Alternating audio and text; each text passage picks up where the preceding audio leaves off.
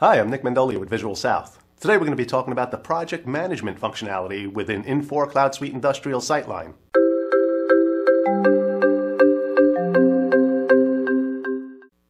If you're a manufacturer managing long-running projects that take months as opposed to just weeks or days, and you want to capture costs of engineering, design, uh, service installation, or, or service management. If you have invoice milestones, revenue milestones, revenue recognition, uh, things like WIP relief. These are all things that you could do within the project management system that comes standard in Cloud Suite Industrial. We're going to take a quick look at what we can do with project management in Cloud Suite Industrial SyteLine. As a project manager, I'm going to start off in my project manager workspace. This is where I can get to all of the shortcuts that I would normally do as a project manager, and I could see some key metrics that, that are important to me as a project manager. We're going to come back a little bit later on and take a look at some of the data that we can start drilling through once we have a project built. But for now, I'm just going to go into my projects and show you how we build a project. When my project screen opens, I have it set to filter all of my projects on the screen. Otherwise, I can filter an individual project. The project that I want to look at in this example is going to be Project DX13. This is a fictitious sign company and we just have some examples of the different things with a sign company because with a project, I want to be able to attach my engineering, my design work. Uh, I might have some production orders for manufacturing. I may have direct purchase orders for the project. Uh, I also may have services involved, installation and things like that. So I want all of that information connected to my project. And this main project screen is where I can see the summary of all of that information. So I can see my project is active. I can see the start and end dates of this project of when I'm attempting to start and complete the entire project. And of course, everything's going to be measured from that. I can see if the project is in control or not, meaning is it on time, on budget. Uh, but I also get a, a, late alert. It's letting me know that parts of my project are late. The project in, in total is on time, but there may be some tasks or resources that are scheduled to be late within it. So it's just giving me that, that alert. I can see if my project came from an estimate originally. So I can tie back to that. I can drill back into that to see how I estimated this. I can set my overhead and G&A rates. And I can set an end user type for this if I wanted to report based on end user types for my projects. If I go into my tree view, my detail, here's where I can see all of my tasks for this particular project. And we're going to go into the detail of this in a little while. Uh, but even within those tasks, I can see what we call resources. And resources would be any items or labor resources that are part of this project.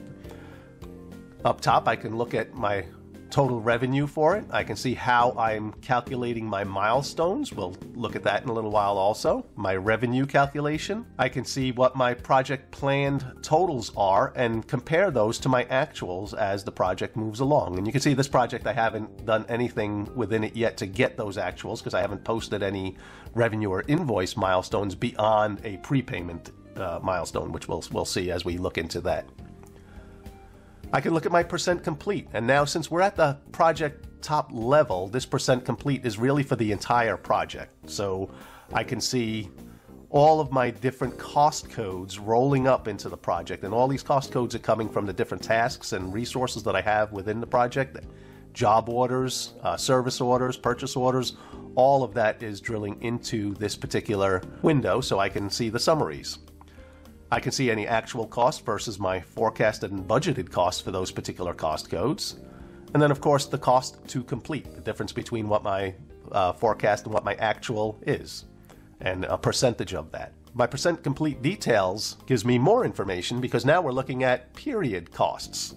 So it takes all of those cost codes and then it's separating it by the period. So I can see how, you know, what costs I have for each of these different activities for these periods and my actuals and forecasted and budgeted uh, within those different periods.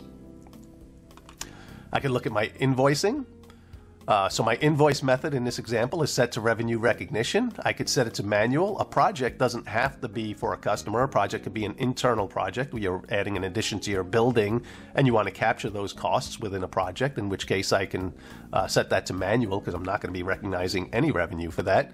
Uh, but the ability to set my invoicing tied to that revenue recognition means that when we look at our revenue milestones, uh, whether they're manual or based on completion of a specific task. I can indicate if I want my invoice milestone to be part of that also. So when I recognize that revenue, it will also generate that uh, invoice milestone for me. I can create retentions. So if your if your business uses uh, retention in your projects, meaning you know at the the end of a project, maybe um, I invoice the entire project, but we're going to hold back 10%, you know, for 30 days to make sure that everything is good and working properly before the customer owes that final 10%. You can see all my work in process accounts that I'm going to be tying it to. So I can separate that from if I do regular manufacturing without projects. Um, I can I can see the difference between work in process that's tied to projects versus toward my typical manufacturing process.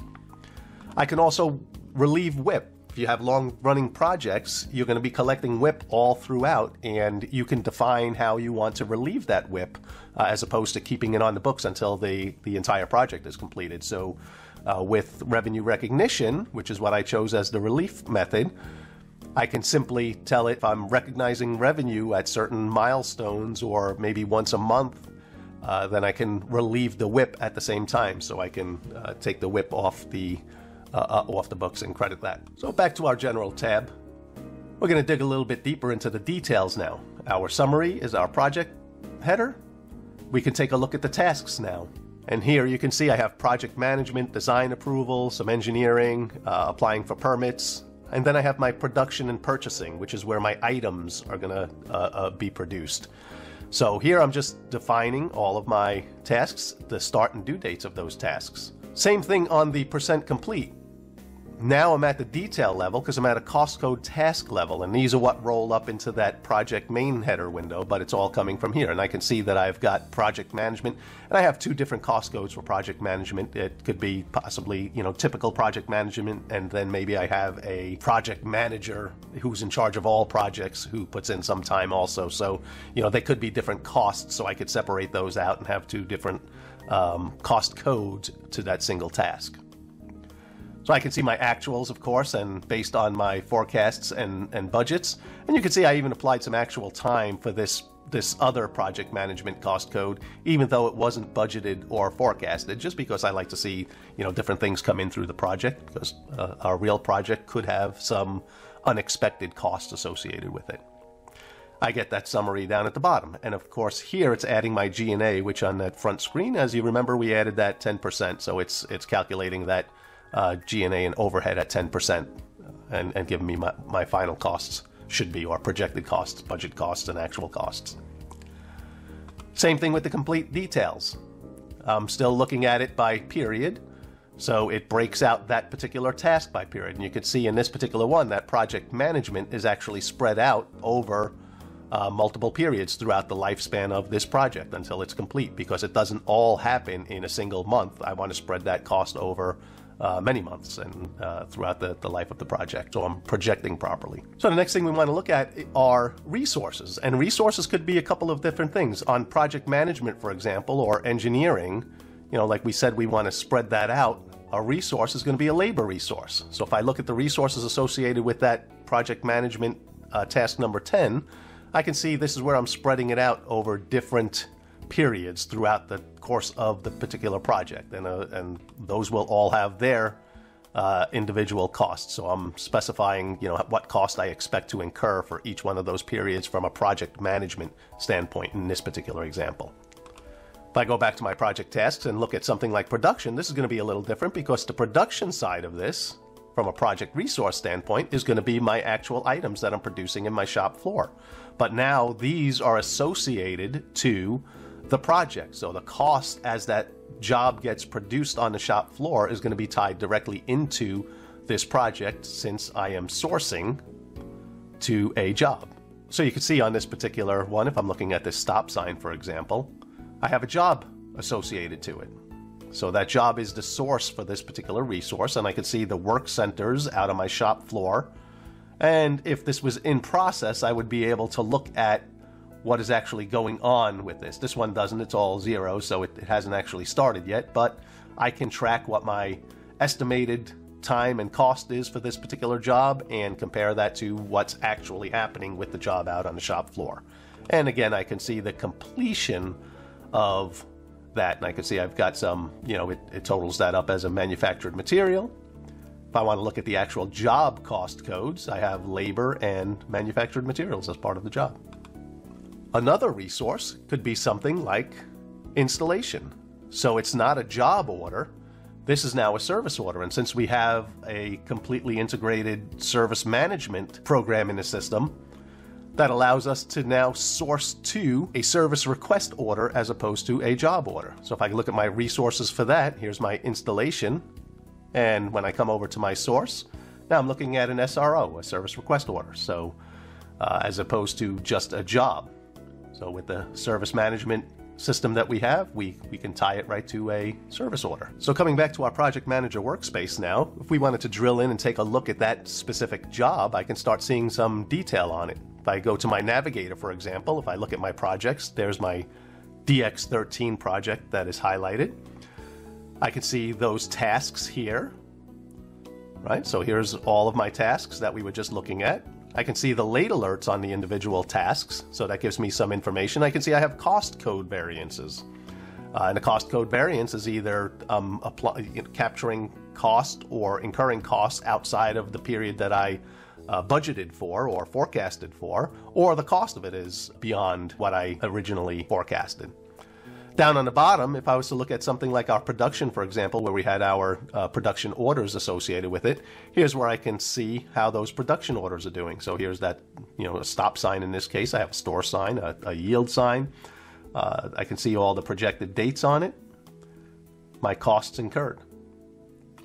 We have a lot of other information. I'm not going to go through all of these, but you know, another the one that I like is the costing activity because here's where I can see by cost code all of my different tasks.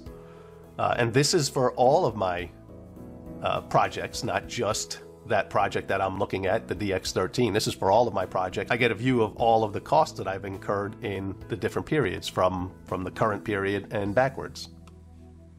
The other thing we can do with the project is set our revenue and invoice milestones they can be tied to each other, but they don't have to be. I can recognize revenue separately from creating those invoice milestones. In general, I like to, you know, tie it to the revenue milestone. So if I go into my revenue milestones, you can see here that I have a milestone for a down payment first, which really doesn't tie to anything. That the only thing that's tied to is saying, hey, to get this project started, we're gonna we're gonna need a down payment on this. And you can see I set this one for ten thousand dollars and told it the date that I expect that. And this one has already been posted and invoiced, so I I know that this one is actually complete. But as we move along through the project, I can also set milestones based on completion of certain tasks. The requirement you can see in this example, my requirement is task 20, which is design approval. I have set to, it's required to be complete. So I cannot nominate this particular revenue milestone until that task is set to complete. So once that's complete and I'm able to then nominate it, which the system will automatically nominate it if you choose to, so it'll know that, hey, you've reached the completion of that milestone event, will automatically nominate it and it'll show up to be posted. And then I can, you know, of course, post my nominated invoices. All of these different milestones that I'm doing for revenue would then turn into invoice milestones. So you can see there's only one right now because we only created that down payment. As we process through and we create those other revenue uh, recognition, nominate and post those other revenue milestones, that's when I'll see these additional invoice milestones automatically get added. Likewise, I could set my work in process or WIP relief to tie to that also. So as I recognize that revenue, it will also uh, relieve the WIP that I have on the books currently for that up until that point. You also have the ability to track changes. So if you turn that on, now what you can do is every time a change to this project happens, it's going to record it and we'll be able to create project change orders. That is typically used um, on, on, a project, unless it's an internal project, then it doesn't matter. Uh, but for a customer, usually you'll you'll want to turn that on so you can track any changes that are made to it and, and keep track of uh, all of those change orders and the costs associated with those change orders. One final thing we want to show is our Infor document management solution. And that is also part of the Cloud Suite, which ties itself directly to our projects or any other functionality within uh, Infor Cloud Suite Industrial. And in this case, we're looking at projects, so we can see all documentation that may be related to this particular project. And In this case, we're looking at the X13 as our project. If I open up my context apps, I can see all of the documents that have been associated to this. Uh, I can also tie new documents to it very easily. So if I wanted to just go into my document folder and just drag and drop a new document and tie it to this specific project, upload that, and it does add it to our document management system, but it also adds the attribute of this project number that I associated with it. Uh, so at any time, I can look at all of the documents in one repository that are related to this particular project. Or I can tie them to individual tasks or resources on those individual forms so that you can separate them from the main project if you wanted to. But this all ties into, so I can click on it and take a view of what that particular file is or I can open it up within the document management solution. And you can see this is a full solution, so I, I, have to check it out to make changes to it and then check it back in. It has security associated with who is allowed to do that. I could look at any historical changes, so if I do check out and check back in, it will keep track of that history of any changes that are made to it and, and keep versioning of it. Uh, the other thing I could do is just if I'm looking at this one, since I came from that project originally, if I close that form, now I'm looking at all of those documents uh, that were related to that particular project because they have that same attribute of that project number. That was just a brief overview of what you could do with project management within Cloud Suite Industrial SyteLine. For more information, contact us at visualsouth.com.